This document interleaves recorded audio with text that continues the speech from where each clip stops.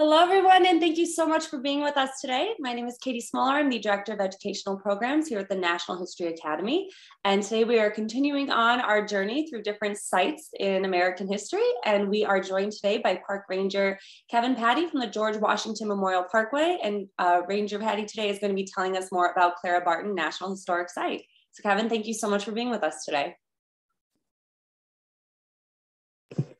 Thank you. Thank you very much for having me. It's a pleasure to be here to talk about Clara Barton. Her story is very interesting.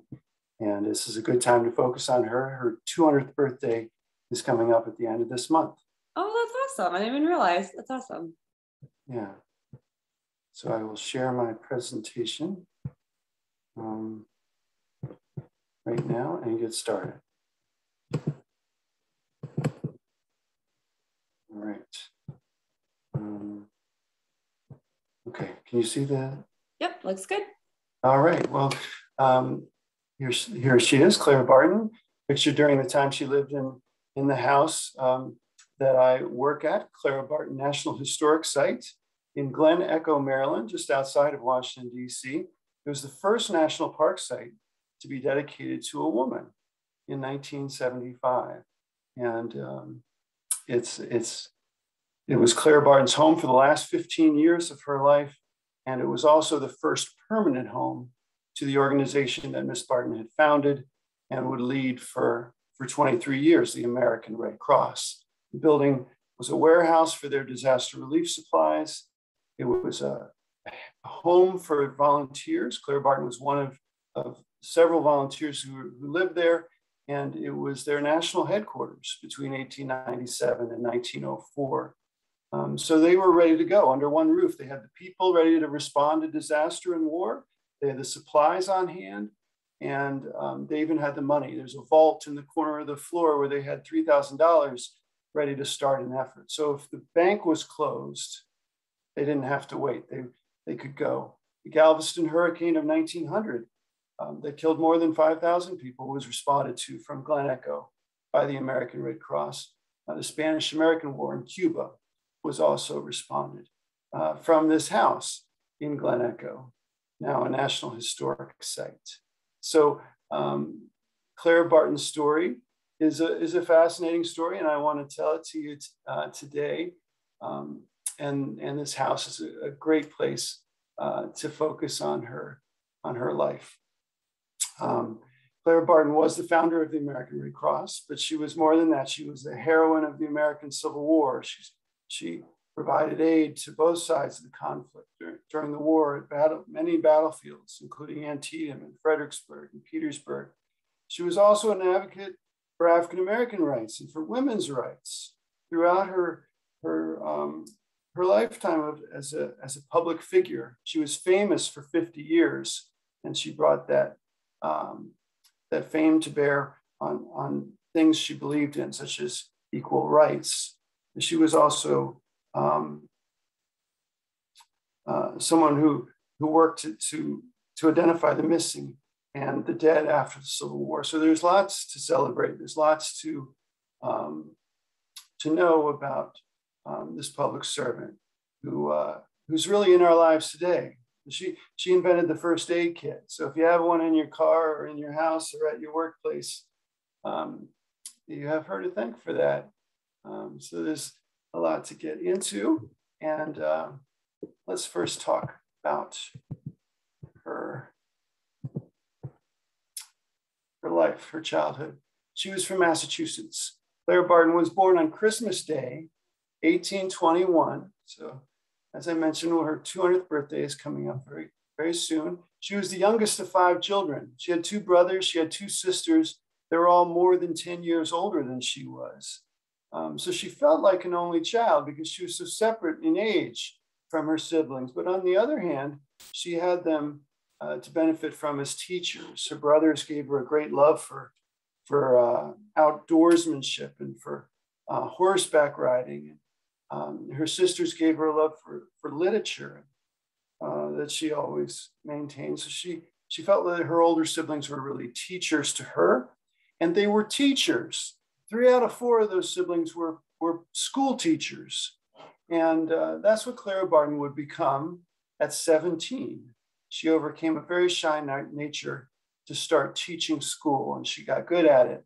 It was really a tradition of service in her family. Her father had served in the local militia, was proud of it. Um, her grandfather had served in the Revolutionary War. The Barton family helped the poor in the community. So Clara Barton really had this, this uh, exposure, this ethic of, of, service in her life. And there she is, a servant, a public servant at the age of 29. Here's the, the, the earliest photograph we have of Clara Barton. She had left her native home in Massachusetts. At 29, she wanted, after having taught in Massachusetts for many years, over 10 years now, she had taught. At, at this point, at 29, she's wanting to go to school herself. She's wanting to find a college that will welcome women in 18 in the early 1850s. And she found one. It was in New York. It was the Clinton Liberal Institute. And there it is. And it was a thrill to her to be there in this new place away from her home. She thought everything was bigger in New York. She thought the sky and the trees and the buildings were all bigger. It was an exciting thing to be there. And she took part in all the studies she could. She enjoyed the library and, and the people. She made a good friend at college. Her friend was Mary Norton. And after a year's study, at the invitation of Mary, Clara Barton moved to Borden to, to, to New Jersey. She stayed with um, Mary in, and her family in Hightstown, New Jersey for a short time, and then moved her on her own. Clara Barton moved on her own to Bordentown, New Jersey. And on a Wednesday, she looked around and she could see a lot of kids roaming the streets. On a Thursday, on a Friday, on a school day, there were lots of school age kids that were not in school in Bordentown, New Jersey. Why was that? New Jersey hadn't developed a public school system yet. Massachusetts had. Clara Barton had worked in many free in, in public schools in Massachusetts.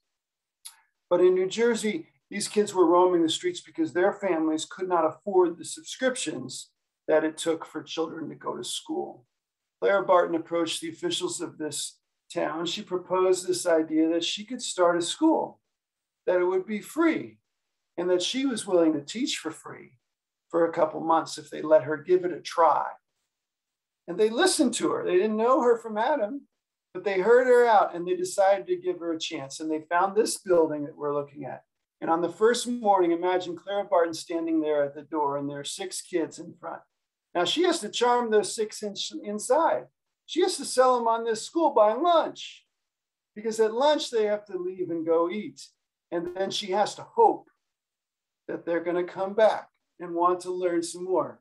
And guess what? All six came back and they brought some friends with them. And on the next morning, there were 20 kids.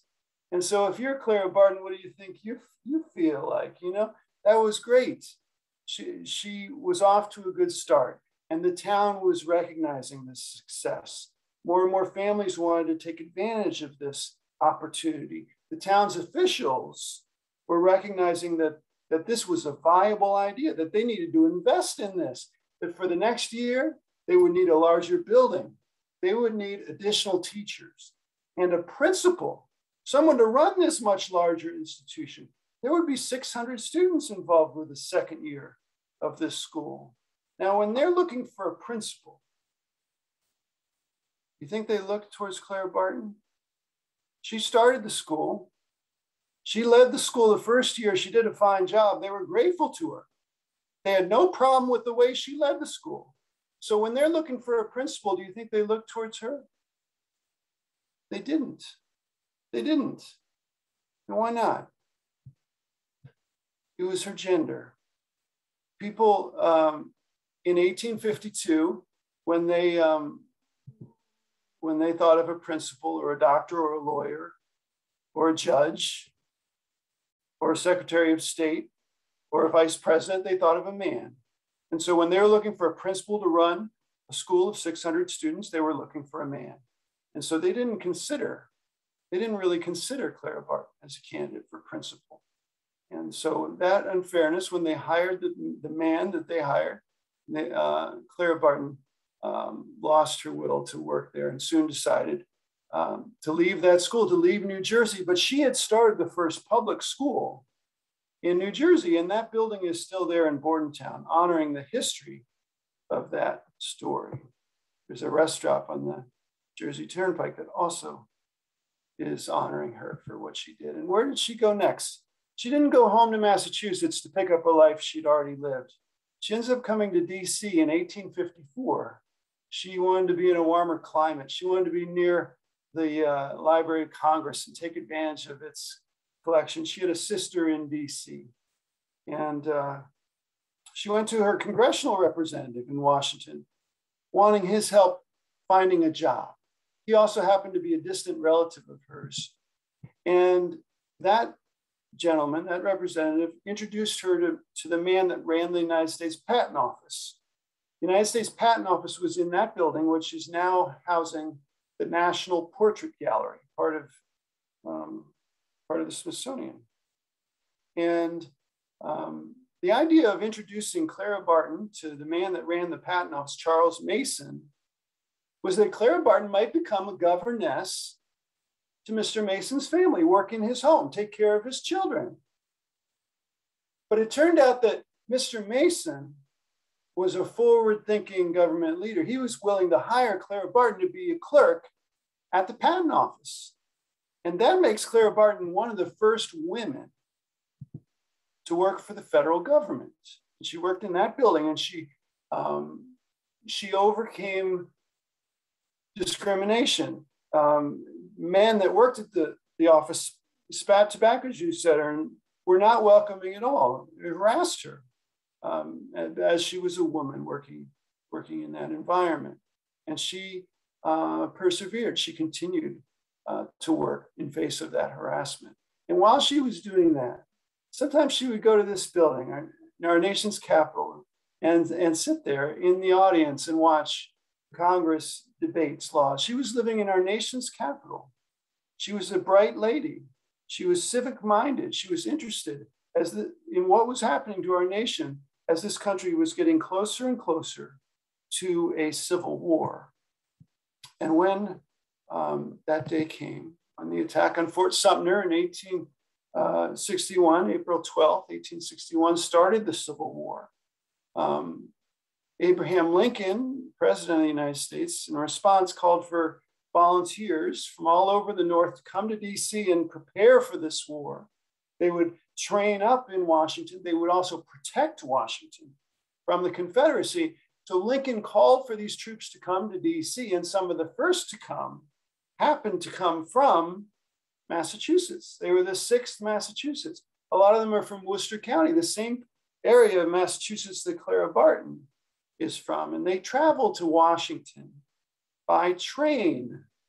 And along the way, they have to change trains in a bunch of places, and one of which was Baltimore, Maryland. They had to climb off of one train. They had to walk through Baltimore streets to another set of tracks and another train. And as they walked, people pushed them. People yelled, people shot guns, people rioted, people threw rocks because there were many people living in Baltimore that what didn't support Abraham Lincoln, didn't support the Union, but instead sympathized with the Confederacy. They were upset that Lincoln had called in these soldiers. And so the rioting that happened in Baltimore on the 19th of April, remember the Civil War starts on the 12th of April. This is the 19th. Um, that rioting spilled some of the first blood of the Civil War. And now those men, those boys really, had um, would climb on that train and would complete their journey uh, to Washington, D.C.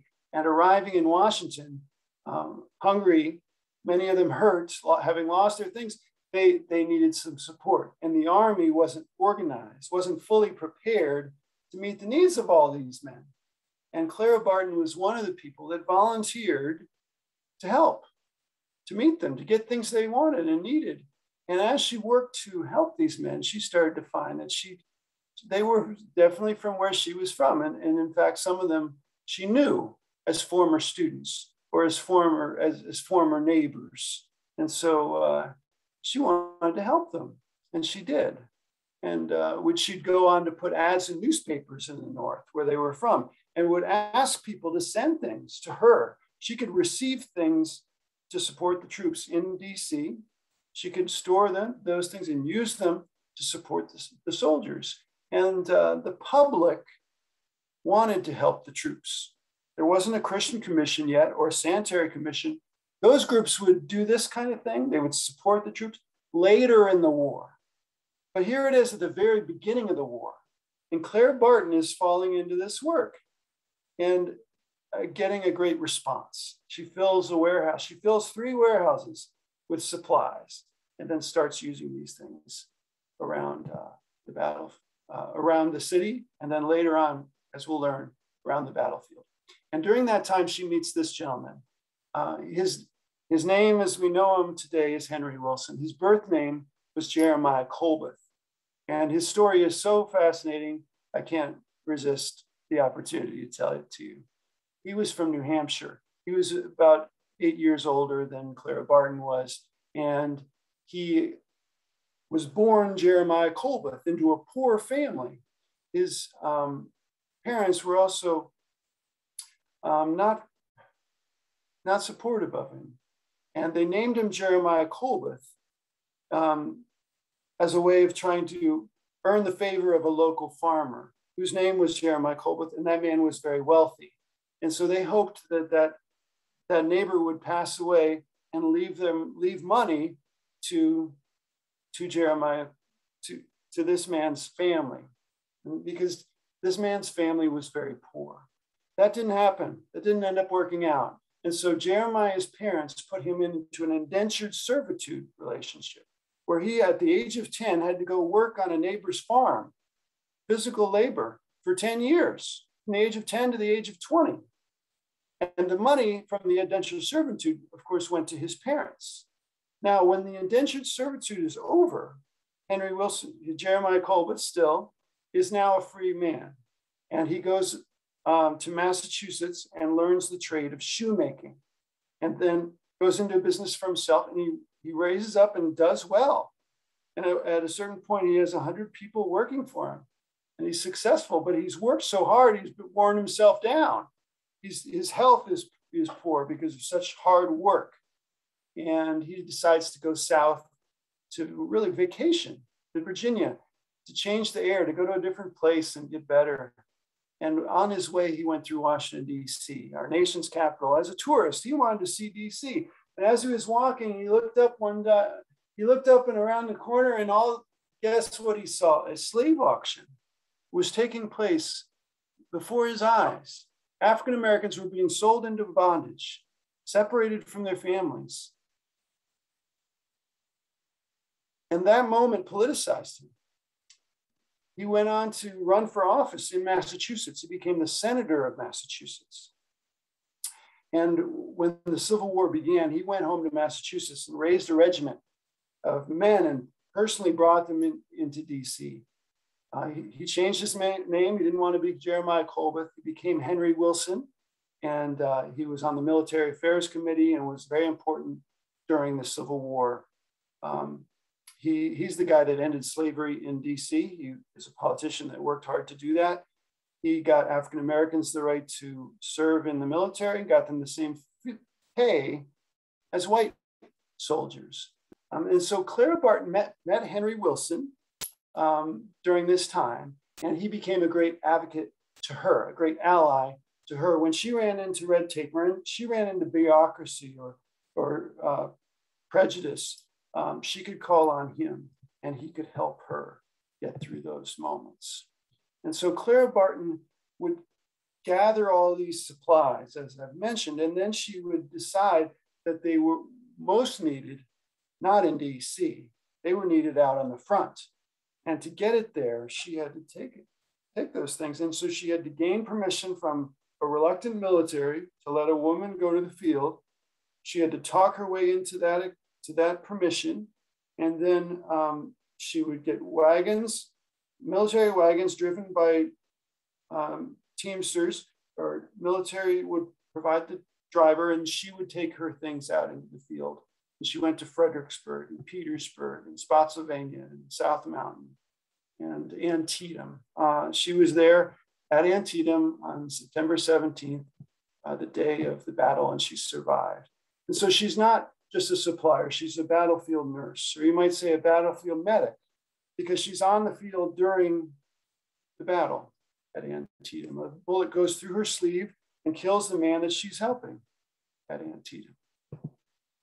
She was at the attack on Fort Wagner in South Carolina. If you've seen the movie Glory, if you haven't seen it, you should see it with Denzel Washington and Matthew Broderick. When the African American soldiers storm the fort, Clara Barton is there and she speaks eloquently of the bravery that she saw in the African American troops. And so by the end of the Civil War, here she is in her mid 40s. She's a real heroine. She's someone that people know and people like. She's a celebrity. She's a woman that went to the field as a volunteer and um, helped soldiers. And so um, after the war, she would uh, devote her time to trying to identify the missing and the dead. People sent me messages. They wrote her letters. Throughout the war, they wrote, Clara Barton, you were at Antietam. Our son John was at Antietam. We don't know if he's alive or not. The Army hasn't kept good records. They, they don't know if he's alive. Have you seen John? You were there. Have you seen him? Have you heard anything from him? This happened so many times. She received so many letters that she decided that she could do something about it. She throughout the war, she kept names, she kept lists of who, who she saw die and who, who they were. And so she continued to do that. She made lists of missing men. And then she decided to, to um, open this office. Abraham Lincoln supported the idea. She got the permission of the government printing office. Um, they would print the lists, and she'd put lists in post offices all over the North. And then she'd ask veterans, people that had served in the war, to look at the list. If they knew anything about any of those names, they should tell her. And then she could tell the family of the of the love of their, you know, of the soldier. And that system produced results. It worked. And she went to Annapolis where ships of soldiers came back after having served, and they would look at the list and tell her what they knew.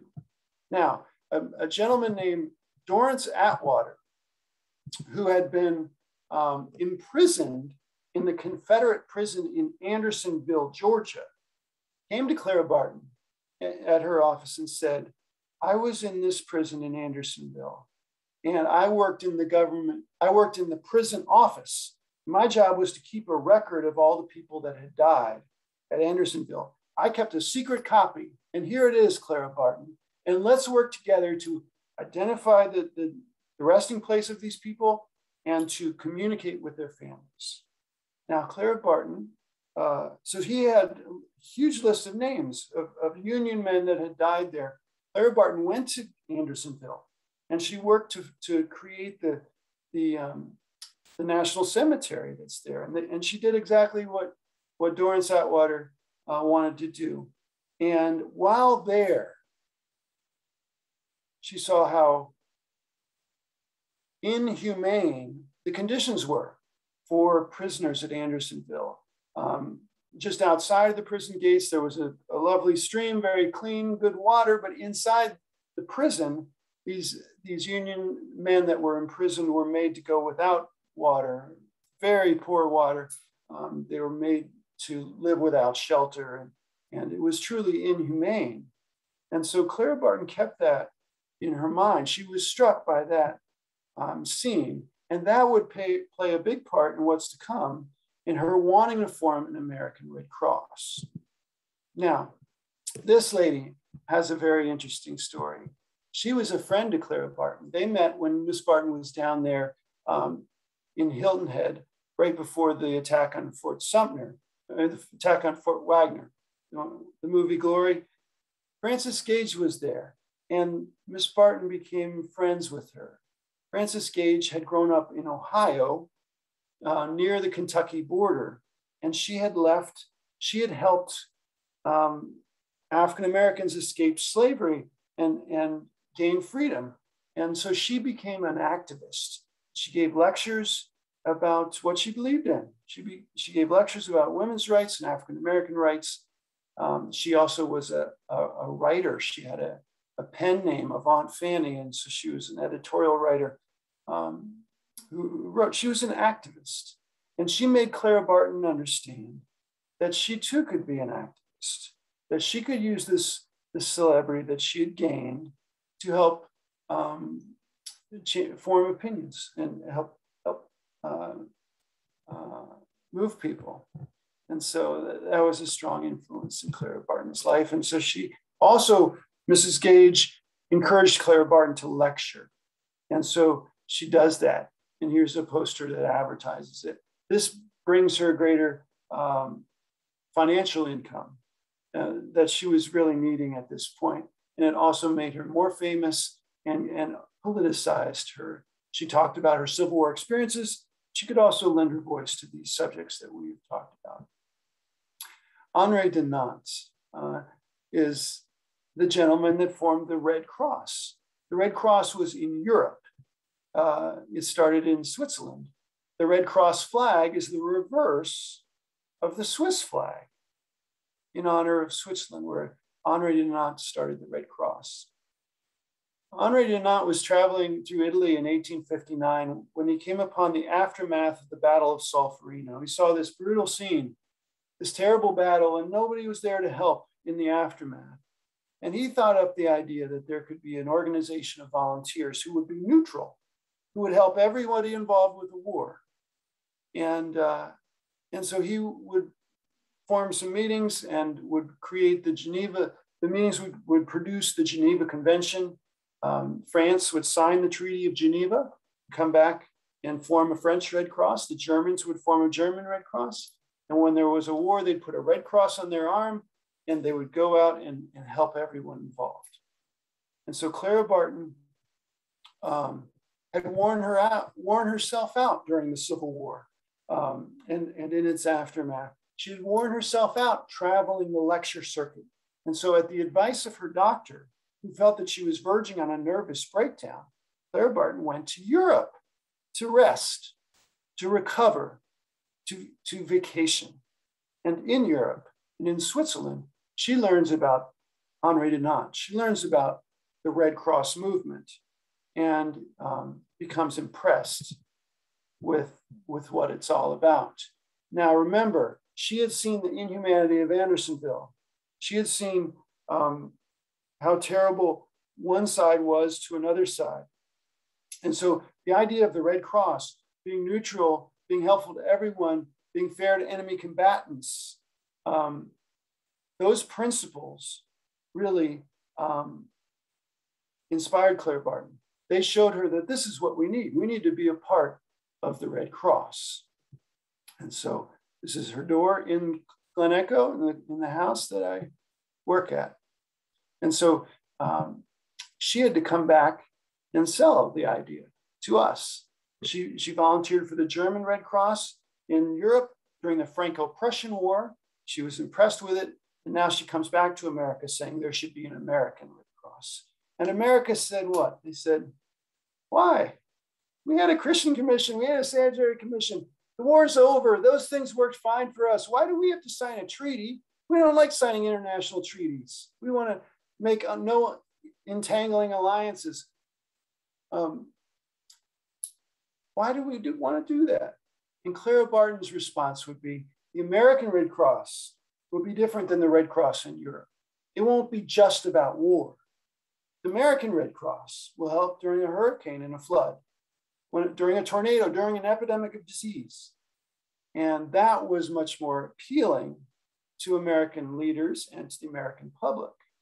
And so um, she worked for years to, to sell the idea. And finally, she did. And the United States signed the Treaty of Geneva when it did because of her work, her lobbying.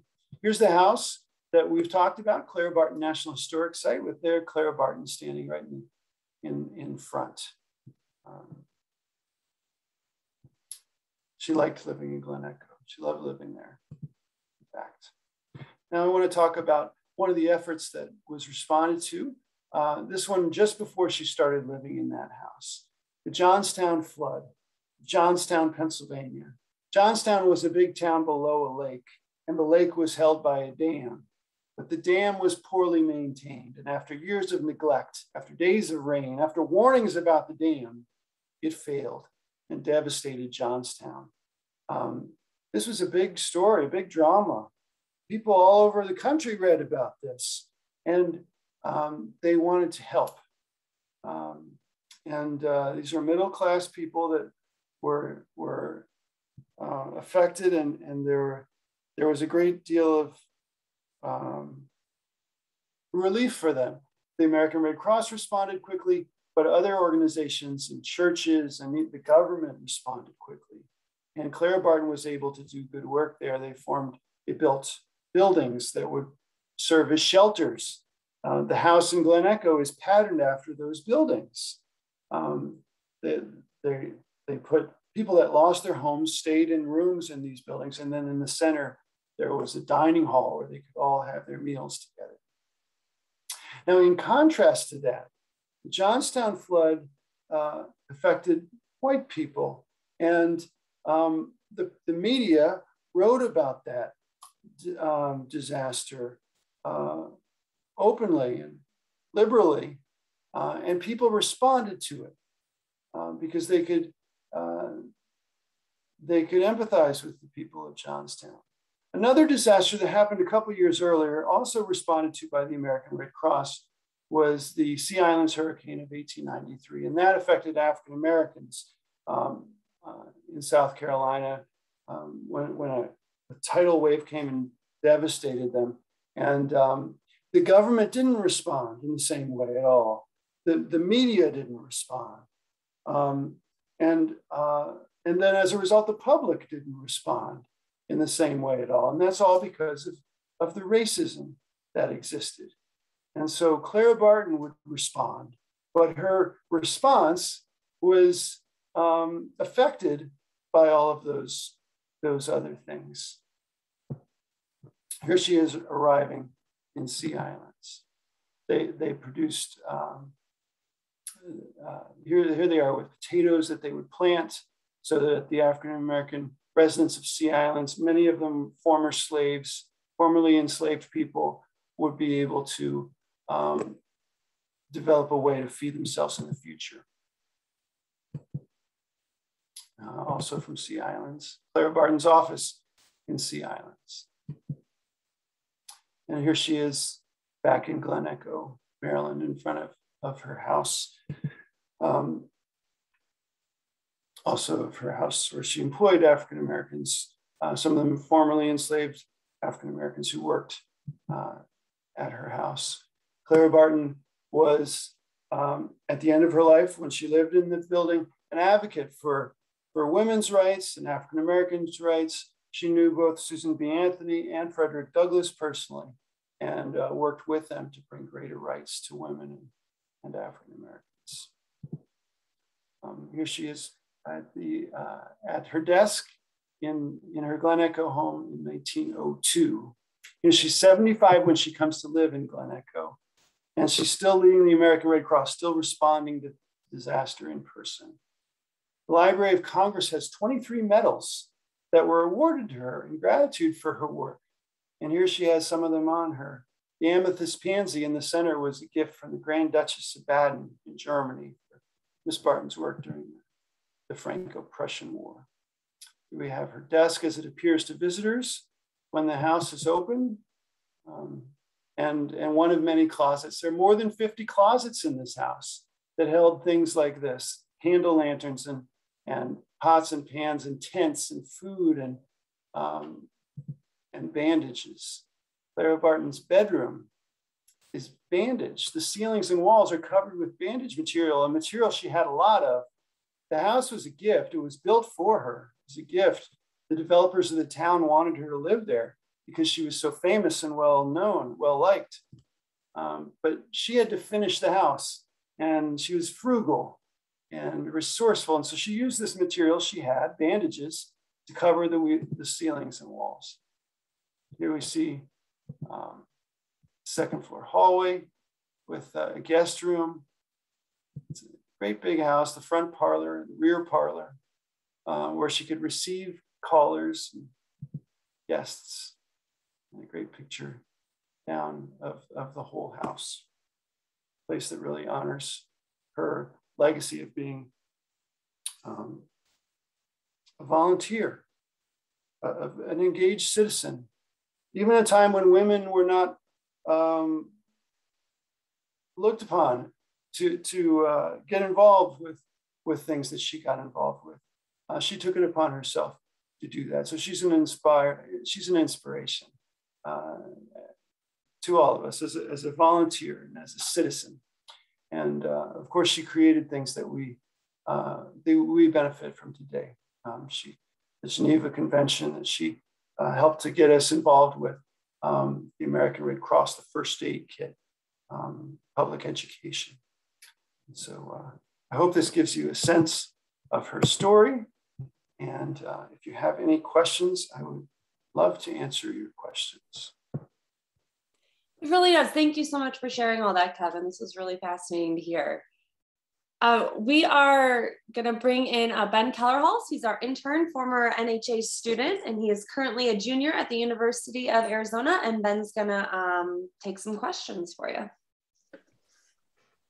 Yeah. So um, let's jump in. We got some good, good food for thought. Um, one one question we have is: uh, Do we know any of the inspirations Clara Barton may have had? Uh, what female activists she may have looked up to, and maybe how other female activists later looked up to her.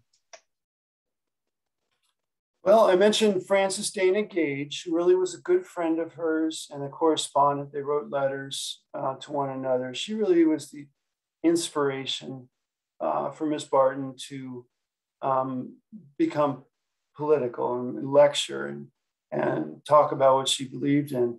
Um, her father also comes to mind. Her father was um, a great inspiration. He was a soldier. Um, he was proud of that service and talked about it. And um, she was, she really looked up to her father. So he was an inspiration. Um, she was close with her siblings as well. Um, um, that would be my answer. My answer to that. It's a good question. Nice. Yeah. Um, and we know you mentioned um, right before as we were getting started that her 200th birthday is coming up. So, what does the site have planned for that event? Well, thank you for asking. We've um, we've already started. There's a performance. We have an actress, Marianne Jung, who's going to perform as Clara Barton uh, on our Facebook page this Saturday at 10 o'clock. But it will be available throughout the weekend, so you can watch it anytime Saturday after 10 o'clock. You can watch it Sunday and then it goes away. So you got to see it either Saturday or Sunday. And she is an actress who does a one woman show.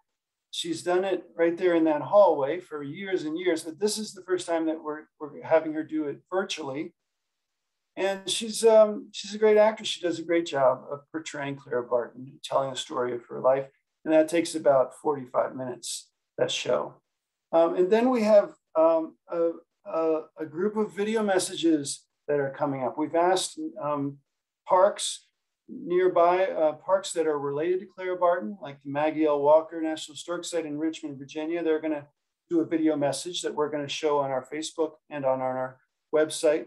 Uh, Manassas Battlefield is doing one. Clara Barton National Historic Site has done one and is working on a second. And uh, the Bordentown Schoolhouse is doing one, and, and someone else I'm forgetting. So um, we're going to be showing these, these messages in the days leading up to um, the birthday, the 200th birthday.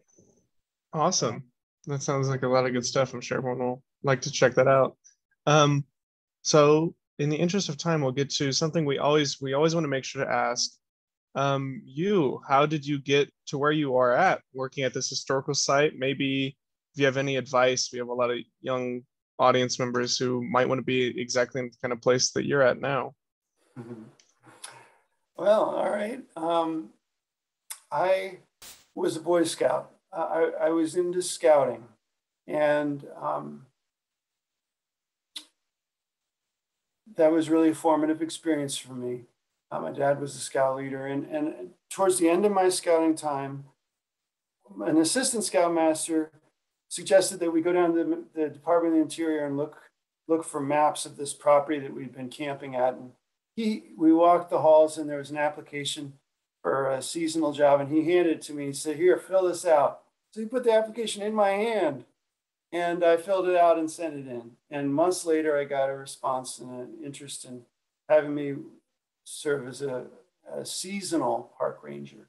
Park rangers work generally seasonally. They work in the summer only for a few years before they finally get a, a full-time real job with the Park Service. And that's what happened with me. So I was fortunate. I, um, I've always had an interest in history as well. So um, it's really worked, worked well. I've enjoyed it. Um, um, so my advice is, you know, the Park Service um, has employment opportunities, but there are other organizations for people that are interested in this kind of work, um, the state parks, the county parks, um, and then lots of nonprofits that do history work. Um, and it's all important work, get people to know the history. That's great. Kevin, thank you so much for sharing that and really looking forward to checking out those programs. So thank you for being with us today and we really appreciate your time. Sure, you bet. My pleasure. Thanks for having me. Of course. And thank you everyone for joining in. Um, you can join us back here next week, Wednesday at 4 p.m. Standard Time, uh, Eastern Standard Time, as we visit with the Harriet Tubman National Historical Park. So hope to see you there and everyone have a wonderful rest of your day.